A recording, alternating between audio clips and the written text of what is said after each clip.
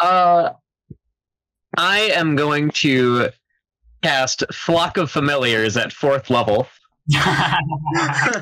so I'm going to make four more little flying monkeys. Uh, and I'm going to station them around the boat and look through their senses so I can keep an eye out for all sorts of other ships, any dangers, all that. Just turn this whole storm into a panopticon for me.